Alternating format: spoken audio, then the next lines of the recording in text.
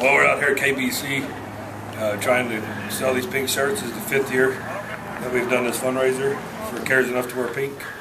Uh, so several of us have taken the challenge and painted ourselves hair pink. Uh, so we're out here till noon trying to sell as many shirts as we can. Uh, it goes to three different charities, all to fight cancer or cancer research. So we're excited to be out here doing what we can do. Uh, we probably we got in excess of 500 left, so there's plenty, plenty left, all sizes, as of now. Now, after the end of the day, we may be limited on some sizes. Uh, then we'll be at Bob Phillips tomorrow. Uh, so after this weekend, I would imagine we'll be uh, getting running low. It's it's been positive. Uh, it's been like I said a little slow this morning, uh, but we anticipate closer to noon it'll start picking up. Uh, right now, we've probably, I, I really don't know uh, an accurate count.